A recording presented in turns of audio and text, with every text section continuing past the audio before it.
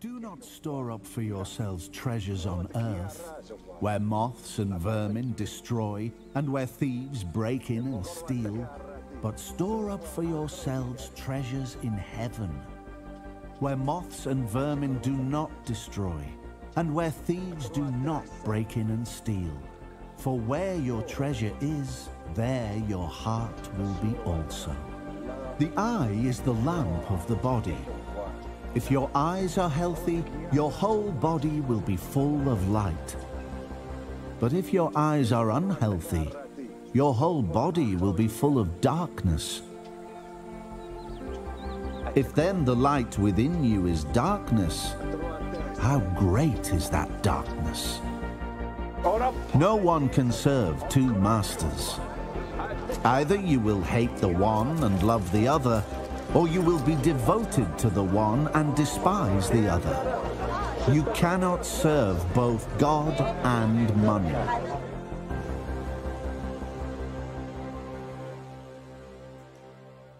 Would you join me in prayer? Good Father in heaven, we thank you for being able to open up your word and allow it to, by the power of your Spirit, speak into our lives. We pray, Father God, that you take these ancient words um, from the best sermon that's ever been preached by the best teacher that's ever preached a message. And we pray, Father God, that you help us to see that as relevant as it was back then to, to Jesus' first century audience, it's, it's relevant to us today. As we sit here and listen in this sanctuary, Father God, as we connect online, Father, that His words mean as much to us now as they, they, they did then. And I pray, Father God, that your Holy Spirit would carry it to the deep recesses of our hearts that need to hear these words. In Jesus' name we pray, and all God's people said, Amen. You know, there's, a, there's an old story about a, a rich man who was very unhappy with his life. He couldn't understand why he was unhappy. So he went around and he spoke to to different religious leaders and he came to a rabbi an old an old jewish rabbi and the rich man was was really kind of this ebenezer scrooge type individual right? He, he was he was wealthy but he had little concern for for other people and for other people's needs. And so he kind of told the, the rabbi his his plight. You know he he began to explain to it but he really didn't explain he couldn't explain what was the root of his unhappiness. And so the, the rabbi invited the rich man. He says come on over here for, for a moment. He said, I want, you to, I want you to look out this window and tell me what you see. And so he did. So, so the rich man, he looked out the window and he just saw people walking on the streets, going about their business. And the rich man said, I, I see nothing extraordinary. I see men, women, and children just doing what they do every day. And then the rabbi said, Okay, come, come over here next. Come over here and, and look, look into this, this mirror that was hanging on his wall. And so the rich man, he did. He, he stood there and he peered into the mirror. And the rabbi asked him, So tell me, what, what do you see now? And the rich man, unamused, he said, Well, of course, I see myself. And so the, the rabbi, in a very soft, soft but stern voice, he said, both, both the window and the glass, the window and the mirror are made out of the same material of, of glass. But you cover one in silver, and you can no longer see others, but only yourself. This week, we return to our study of the Sermon on the Mount in Matthew chapter 6. If you have your Bibles, your Bible apps, join me there. Matthew chapter 6. And we have in front of us, we have Rabbi Yeshua. We have Jesus, the teacher, and he's inviting all of us, each one of us here and out there, he's inviting us to take a long, hard look in the mirror. And, and he challenges us to live radically different and distinct from the world and the culture that we are steeped in. And we're going to see in, in the text that at the heart of our study, Jesus is reminding us to be watchful in our relationship with money and possessions because he knows that, that even those people who were seeking him, who, who even desired to follow him, who were even a part of the 12, he knows then and he also knows now that, even followers of Christ who have the best intentions, that we can become self focused when just a little silver is added to our lives. And so, picking up with verse 19, here's what Jesus says He says, Do not store up for yourselves treasures on earth where moths and vermin destroy and where thieves break in and steal, but store up for yourselves treasures in heaven where moths and vermin do not destroy, destroy and where thieves do not break in and steal. I, I want you to notice from the very beginning, as Jesus begins to launch out into this teaching upon money and possessions, Jesus recognizes something that's instinctive inside of each of us. He recognizes that each and every person has this investment instinct, that they're born with this desire to, to save and to, to store up. And that, that's true for a lot of people here, whether it's a tip jar in the freezer or it's stock in Amazon.com. This, this passage here reminds us that, that each of us, that people just naturally have this innate instinct to value something. And so I want to say from the very beginning this desire to store up, this desire to save, this desire to value something, it isn't bad. But from Jesus' point of view, what we value is, is largely revealed by which pane of glass we choose to gaze into and to look through. Jesus is, is, is, teaching his, his disciples and the onlookers these things, and he wants them to begin to wrestle through some questions that, that we need to begin to wrestle through. He wants us to wrestle the questions like what are you saving for? What are you storing up for? You know, where are you depositing your time and your talents and your treasures? Is it for you, for yourself, or, or is it for others? And, and Jesus, he pulls no punches. He lets us know right off the bat that storing up for ourselves, if that's our goal, if that's the target, he's saying, hey, that's, that's a bad investment. Because sooner or later, if you're storing up for yourselves and it's bound to this earth, you're going to find, you're going to find that moths and vermin are going to get to it. You're going to find that rust is going to get to it and set in and begin to, to make it deteriorate. And what Jesus is, is speaking about here, really, we see in, in the law of nature. Jesus is basically talking about the law of entropy. He's talking about everything is going from, from, from order to disorder, that everything that we see, everything that we touch, everything that we experience is, is eventually going to break down because everything is moving to a place of eventual breakdown in all of creation, from order to disorder. And I'll say this you experience, you experience this, this idea of entropy in your everyday lives. I mean, you could clean up a room, and then entropy, disguised as your children, will come into that room. and it'll become cluttered within, within minutes, right? We, we have a, a, a, grand, a grandson and a granddaughter. And our grandson Judah, he knows how to walk. And so that means he, he can motor, he can get around. And, and this is a new experience for me all over again because we had moved past the stage of having to put things up high. But now I'm learning all over again you got to put things up high if you don't want them messed with. Judah is a little example of the law of entropy. He goes and he just unpacks everything. He's not really interested in playing with it necessarily, he's just simply interested in unpacking it. You follow me? You experience the law of entropy by, by looking in the mirror. Some of you young folks here, girls here, right? You look in the mirror and you see smooth skin and wonderful hair and all, all that stuff. But years will pass, and she's, she's fixing her hair. Good, nice job. I like that. That was nice, right? But years will pass, and, and entropy will set in, right? And you'll begin to see wrinkles in your face. And you begin to see your hair turn different colors. Now, what's cool about my hair is students, kids are now doing their hair, dyeing their hair my color, gray, which is kind of cool. My son did that, right? Jaron. So you see entropy setting in, and then, and then you just kind of see it in all the things that we see around us. Buildings begin to decay, cars begin to rust out, right? clothes begin to break down. I, I have right here, right here, I brought with me a bowl of entropy. Right here, I have different iterations of the iPhone from the very beginning, right? And, and none of them work. None of them, none of them work. Years and years and years, they, they either, the screens cracked, they broke down, right? They got updated. And so Mac has this wonderful strategic plan for all of its customers. It's called plan obsolescence. They plan things going out so that you have to buy the next and the newest and the, the biggest. But, but that's the idea. Usually we, we kind of move along and we think, I've got to get something bigger, I've got to get something faster, I've got to get something better. But then over time, entropy sets in and it all just goes nuts. That's why I got an Android. And now that works well. And I'm not worried at all about that breaking down.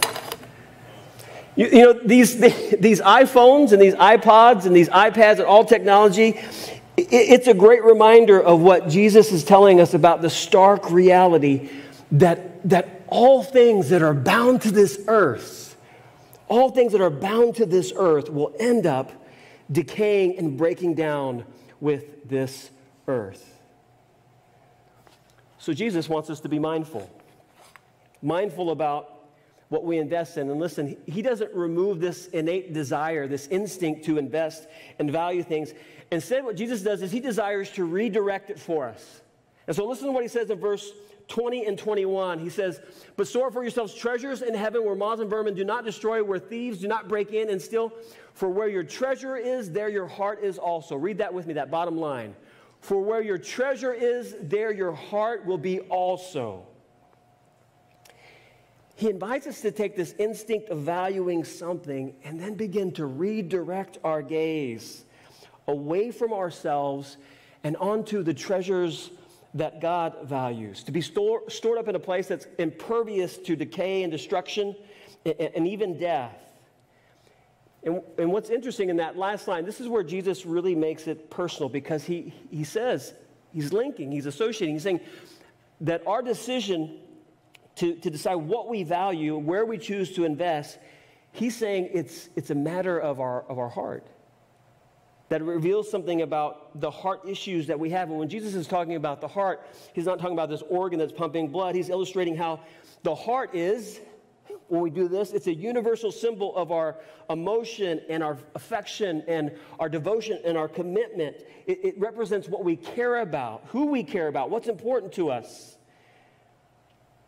And he tells us, he tells us that our hearts and our possessions, our wealth, our stuff, he's telling us that there, there's a connection there that maybe we don't like to admit, but, but it exists. That sometimes our heart, our emotions, our affections, our devotion is, is so connected to ourselves, it's like it's symbiotic, it feeds off of one another. I mean, here's, here's, a, here's a great example of this. You want to see how hearts are attached to things. At the beginning of the camp, Jeremiah, what if you would have said, everybody bring your phones up here, set them on the front of the stage, you're not getting them back to the end of the week. How would that have went over, Jeremiah? Uh, I mean, it could have been a riot. right, there could have been a riot. Would that have been true? And, and so it reveals something, it tells us something. And, and that probably, would, I guarantee that wouldn't have been just the students. It would have been adults too, right? Parents and sponsors. Be- because the reality is, even though they're things, they're inanimate objects, they have a way of, of, of, attaching our heart to them in a way that our emotions, our affections, our devotions begin to defend them. And Jesus is saying, Jesus is saying that, that we have to be mindful and careful about this. Because whatever you treasure, your, your heart ends up there. And, and vice versa, it works the other way around. That if we have something that we really have affection for and a love for, we, we tend to take the treasure, whatever we're earning or making, and we tend to invest our money there over and over and over and over and over, getting the biggest and the baddest and the latest until it goes out and we need the next biggest and the baddest and the latest. Now, that's one thing to talk about phones, but what about when, what about when pursuing our career or future or whatever. What, what about when it's pursuing financial gain at the expense of a healthy family? What happens when a mom or a dad or anybody else says, I'm gonna, I'm gonna store up this nest egg for the future so that someday I'll be able to spend quality time with my family, while all along for decades missing quality time with their family, sacrificing the very thing that they believe they're storing up for, which they have no guarantee will even be there in the end. Jesus is saying be very careful and mindful about where our treasure is because our hearts are attached to those things. He's not telling us we can't treasure things. He's just saying we need to begin to treasure the right things. And Jesus doesn't hold back at all in this passage. He underscores the important of keeping our eyes focused on the right kind of treasure and in the right direction. In verses 22 and 23, this is what he says. He says, The eye is the lamp of the body. And if your eyes are healthy, your whole body will be full of light. But if your eyes are unhealthy, your whole body will be full of darkness. If then the light within you is darkness, how great is that darkness? Jesus has started out his teaching with these polar opposites, right? This earthly treasure versus this heavenly treasure. And now, again, here he gives us another polarity. He talks about these healthy eyes versus these unhealthy eyes. And, this whole eye in the lamp, it's a little bit harder of an analogy to break down, but let me give it a try. I want you to think of it this way I wear glasses. How many, how many of you wear glasses in here? Anybody else? Glasses are contact lenses, okay? Many of you. I've worn glasses and contact lenses since I was in sixth grade, right? My vision is 20 over 400. Really, if you look at this, that's pretty much how I see things without my glasses. I'm legally blind. And so it's very difficult, but I have to wear my glasses all the time. And um, that means when I'm working outside and it's humid or hot or I'm doing sports, they, they can get smudged, they can get dirty, they can get rained on. And if you, if you wear glasses, you know that can be pretty irritating when your glasses get messed up, right? I mean, it's pretty, it's pretty irritating because you can't see clearly and they cease to function. For the very use, they cease to function as glasses to allow you to be able to see clearly. Jesus, in the same way, is saying to us that when our, our vision is clouded, and when our vision is clouded by this continual focus on dark things, right? Continual focus on money and possessions.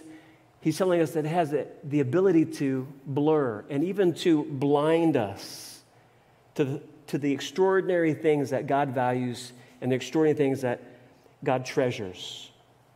And, and by the way, the, the things that God values and God treasures are, are the people that I'm looking at, the people that you see when you look out of a window, because those are the only, if I can say things, those are the only things that will transfer from earth to heaven someday. That's it.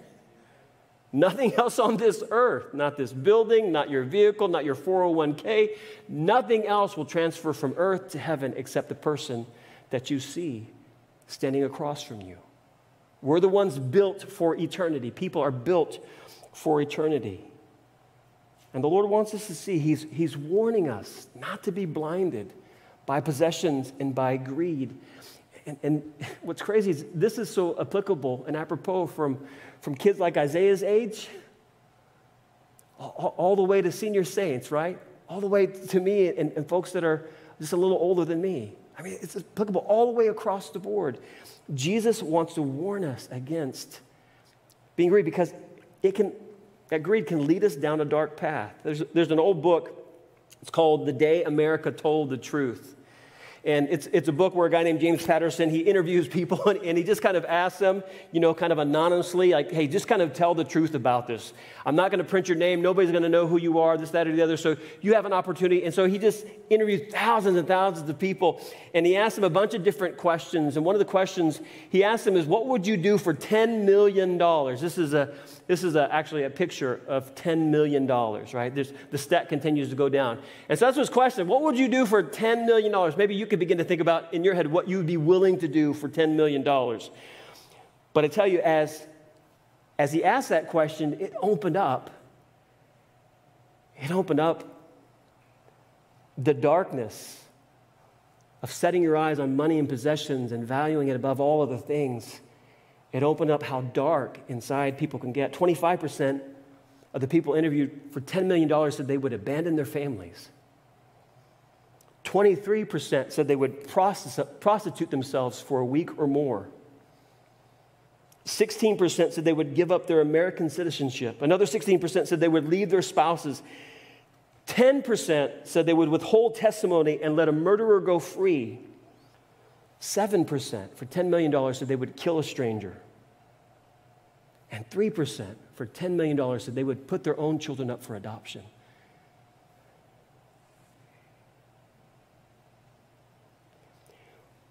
When a person's vision is so darkened by possessions and greed. They're willing to sacrifice their lives, their families, their marriages, their reputation, their morality, and their eternity for something that is temporary, something that is earthly and bound to perish on this earth. And Jesus says it aptly. He says, How great is that darkness? Jesus instead says, I want you to set your gaze on something greater and grander and more beautiful. I want the light to flow in you and to illuminate goodness. And that begins, that begins by turning our eyes to Him. As an example, who was Jesus says, you know, um, foxes have, have a place to, to go and sleep at night, but the Son of Man has no place to, to place his head, to lie his head. Jesus wasn't a wealthy person, but Jesus was filled. So we follow him and we follow Jesus' fulfillment. It's like the words of that old hymn. You guys remember that song, Turn Your Eyes Upon Jesus?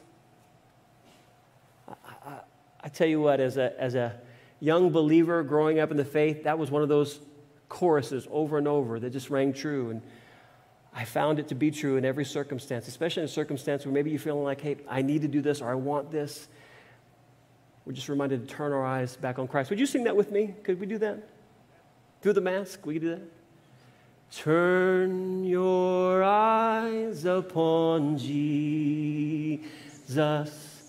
Look full in his wonderful face, and the things of earth will grow strangely dim in the light of his glory and grace. And all God's people said, Jesus, Jesus wants us to set his, our eyes on, on him, and then he brings us he brings us back to what's really at stake here, the core issue. It's a hard issue. Yes, it's an eye issue, but ultimately, he tells us in this scripture, in this teaching, that it's a lordship issue. Verse 24, he says, No one can serve two masters. Either you will hate the one and love the other, you'll be devoted to the one and despise the other. You cannot serve both God and money. That word serve is, is, is as strong as you can imagine it. Really, you, you can actually say be enslaved. You can't be enslaved to one or a slave to one or the other. There's, there's no way to water down that word. A, a servant, a servant is one that is held in bondage to either the Lord or to money. Now, Jesus expressly states here this, this other, this third polarity, God versus money. And, and really, in the original language, if you were to go back maybe through in some of your King James versions, you could see that it actually says God or what? Mammon, right? God or mammon. And so money often equals mammon. And, and, and if you're familiar with the scriptures, if you've done a few studies, you know that, that mammon has always had this, this negative connotation and for good reason. In many of the translations, they actually even capitalize mammon. And they did that because they wanted you to understand that, that people have personified money or mammon in such a way that it has become like a personal idol to them, that their hearts are devoted to it like a personal idol. And so, mammon and money. But listen, though mammon has a negative connotation to us now and has for, for many centuries, um, it didn't begin that way. The, the idea of mammon in Hebrew culture was, was really just a common way that, that the Hebrews would describe um, the property or the fortune that they were saving up, that they had entrusted maybe to someone else or someplace else for safekeeping until the time that they actually needed it. It was like it was like having a savings account or a 401k when you were going to retire and you needed it, it was there and ready for you. So the concept of of mammon really was largely neutral and even, even responsible and positive for the people at Jesus' time. They would have seen this as like, hey, mammon's actually a good thing, isn't it, Lord? But, but over time, it actually began to change. The idea wasn't something, something of this positive idea to that which you kind of entrusted and then we're going to use later, but it became this thing that actually one began to place their trust in as far as for their future. Not just not just something that's entrusted, but it became something that people said, No, I trust it more than anything else for my future, which is, which is a space that only the Lord God should occupy in our lives. Amen? J- Jesus is speaking here when he's talking about God and money, he's, he's speaking against placing our hope and our security in a fortune that we've stored up for ourselves because he's telling us, and he said this all through the passage, it's ultimately going to fail you in your future. It's ultimately going to draw your heart's affection and attention away from where it should be. But, but more than warning us about the dangers of misplaced trust, Jesus wants us to understand the core issue, and that is that as a sovereign God will not share the throne of our hearts with anyone or anything else. That he demands and desires complete, total lordship. I want to be clear here because I see Jeremy Cowan, who is an investment manager here, chairman of our elders. I want to be clear Jesus, Jesus isn't advocating that we can't earn a living, that we can't buy things, that we should be responsible and save, right? Obviously, it clearly had a positive connotation at one time, and I think he wants us to get back to that positive connotation. I, think his desire of, of sharing this with us is for us to understand that sometimes it could cross a threshold if we're not mindful and watchful. It can cross a threshold where acquiring things becomes our central focus. And before we know it, all the possessions that we own, we find that we can't do without them, and they all of a sudden they begin to own us more than anything else. And Jesus is saying, Be careful. You get to a certain place and you know you think in Jesus' first century audience, and even in this audience, people would say, hey, this is not a big deal because they just don't have much. Right? I don't, I don't, I don't have a whole lot to be connected to or be devoted to, so I don't, I don't have to worry because Jesus isn't speaking to me. And, and the truth of the matter is, you don't have to have a baseball or football player or basketball player's salary, a mega salary, in, in order to really kind of, really kind of you know, deal in a negative way with possessions and wealth and material gain and all those things, or be enslaved to desire. Um, Jesus, Jesus wants us to know no, nobody gets off of the, the hook. Sometimes you can be enslaved to what you don't have, thinking about, oh, I wish I had this, I wish I had this, I wish I had this. Um, it can be even for material possessions that are a mirage and, and not actually existing in your life, you can still be enslaved to those. And Jesus wants us to be careful of those as well. Jesus isn't anti material goods, he really is anti grab all you can while you can. Because he wants us to know we can't serve both at once. We think we can, but, but we can't serve both at once. It's, it's kind of like driving somewhere where I've never been.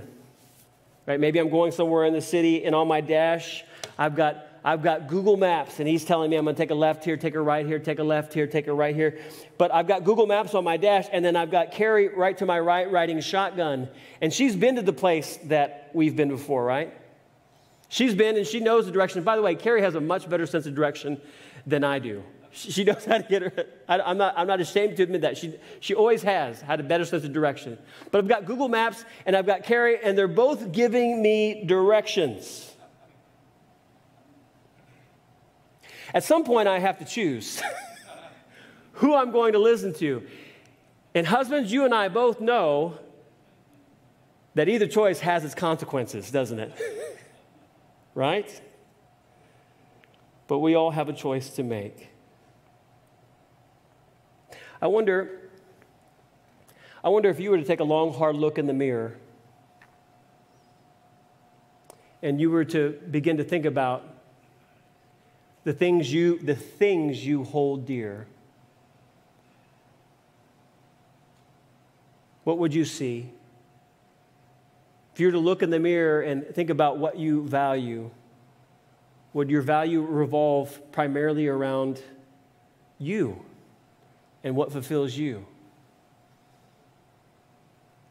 And, and, would you be willing to step aside and to step away from just gazing upon your own reflection and your own folk and your own needs and begin to see what God sees, to begin to look through that, that mirror and to look at the extraordinary people that God has created in his image that he deems as his treasure above all, above all else. And say, this is where I need to invest because this is a treasure that will translate to heaven.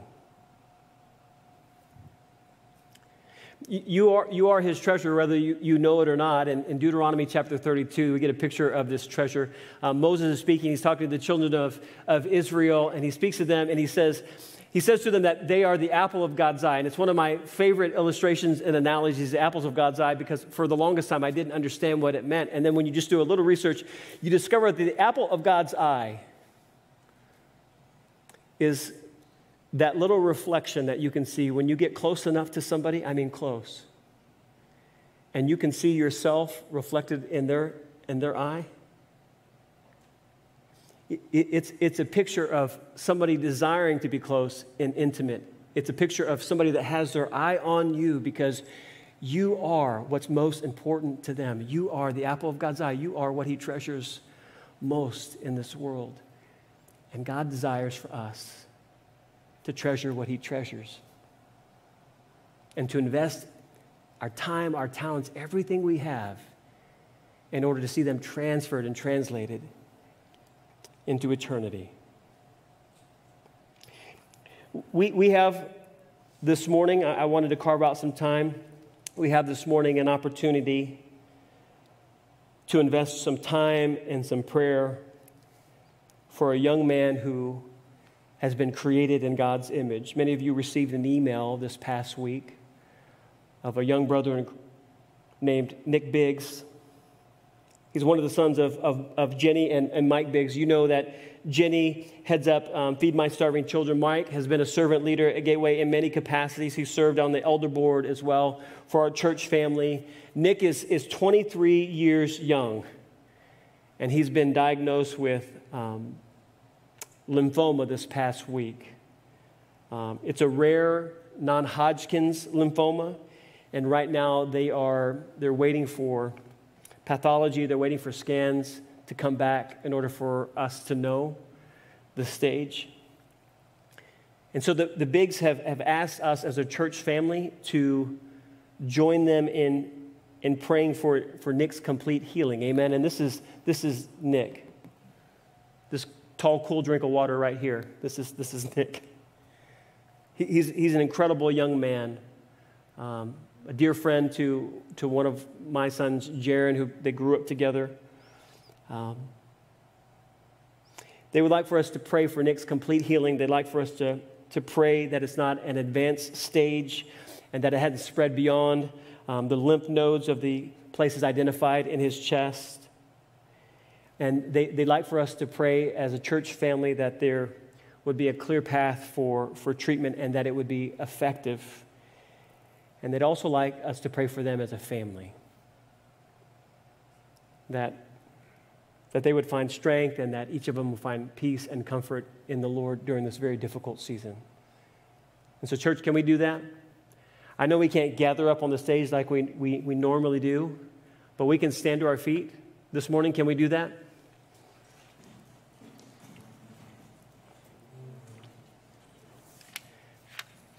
As I've been thinking about the situation in Nick, I, have I've been getting this picture in my mind where Jesus was teaching. He was in a house, and there was a friend, a family member who couldn't get to Jesus on his own. He couldn't get to Jesus on his own. And so some friends actually put that friend who was sick on a mat, put him on a mat, and they couldn't get into the house that Jesus was teaching, so they crawled up on top of the roof. They peeled back the roof and they began to lower down this friend that desperately needed the touch of Christ. They began to lower him down so that he could, he could be healed by Jesus. And, and I want you to understand that what we're doing right now is what they they did back then. We're taking our corner of the mat and we're lifting up Nick, this young man, and we're lowering him down into the presence of Jesus and say, Jesus, you do, please, you do only what you can do. Amen? And so if you, if, if you can even, maybe you can even reach out and just, like you're holding on to that mat as we pray. And you can stand, you can kneel, whatever you want to do, but if, if you could, just hold on to that mat and let's lower our brother Nick into the presence of Jesus to be healed. Would you pray with me? Good Father in heaven, we, we come now in the name of Jesus on behalf of Nick. We know you love him. We know that you have watched over him for years and you watch over him now. And we pray in the name of Jesus that you would bring healing to his body. We pray in the name of Jesus that you will astound doctors and nurses and medical staff and bring healing to his body. And Father, we, we're, we're open to whatever kind of healing you choose to do, whether it's by your miraculous touch or whether it's through the skill and precision of, of the doctors, by correct diagnosis and medical care, Father. We, we will receive any healing that you choose, you choose to dole out for, for Nick, but we, we come now. We pray, Father God, that it would be contained, that you would give doctors and nurses and the staff clear insight of what to do next and how to take care of him. We pray that his body would receive the medication, Father, and it would do its work by your power. And Lord, we pray for the Biggs family, for Mike and Jenny, for Caleb, for Nate, for Holly, for Riley, for Dahlia, Lord, we, we lift them all up to you and, and ask, Lord, that you would comfort them along with Nick during this time. That, Father God, you would allow, allow all of us who, are, who are, have our little corner of the mat to continue to, to lift, lift them up, but also to lower Nick down into your presence over and over and over. Lord, we're, we're believing. We're believing for something miraculous because we know that you are the God who specializes in the impossible. And so, Father, hear, hear, our, hear our cries, hear our prayers as your people, as your children. Lord, we pray this in Jesus' name. And all God's people said, Amen.